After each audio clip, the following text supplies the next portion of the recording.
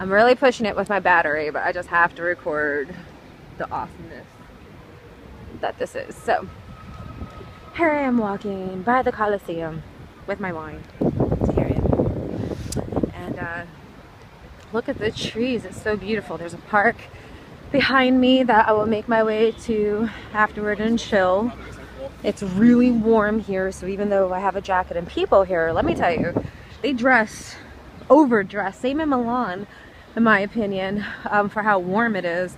It's probably like 75 degrees. I have this jacket on because it was windy and in the shade it is a little bit cooler, but in the sun it is hot. Like as soon as I make a spot here to chill, I will definitely be taking off my jacket. Wow.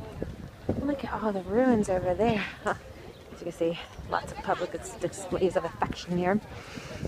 And uh, Romans dressed up. Oh my gosh. Oh my gosh. Wow. I have to go in. So, uh, yeah.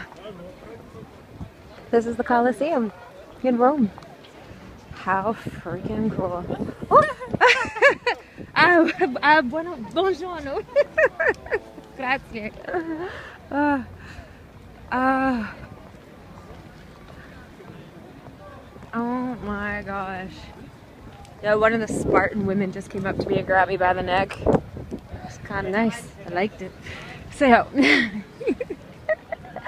I am liking Rome more than I thought I would, I will say now that I have a map and have my bearings and met some cool people like Baggio, um, yeah, it's really awesome.